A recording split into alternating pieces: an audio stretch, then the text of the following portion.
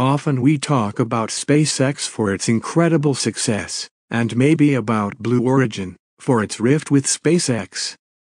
But the space race is not only confined to these two. There are lots of other private space companies who have been working hard every day, till their health permits them. And one of such company is Astra, which was founded by Chris Kemp in October 2016. Astra's mission is to improve life on Earth from space. Huge respect for Astra as the recent rocket LV0007 has successfully reached orbit in the fourth attempt. And a fun fact, SpaceX also reached orbit in fourth attempt.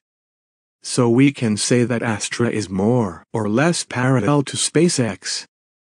To this SpaceX founder Elon Musk also congratulated Astra. He replied to Astra's tweet, Congrats. Orbit is not easy. To this Chris Kemp replied, Thanks Elon. So much respect for what you've built.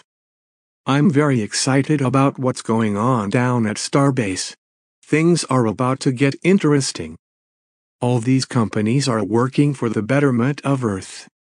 We wish them good wishes for upcoming achievements. Lot of respect. Thanks.